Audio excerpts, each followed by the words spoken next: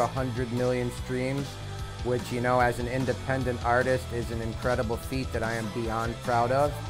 Um, and again, to see the impact that it has had on a certain community, on a certain fan base, whatever you want to call it, you know, I mean, the messages I see speak volumes. So, Cold as Ice has been my set closer for like half a decade now, and probably will be for most of my career, and I'm proud of it. Fucking cold as ice, almost a classic.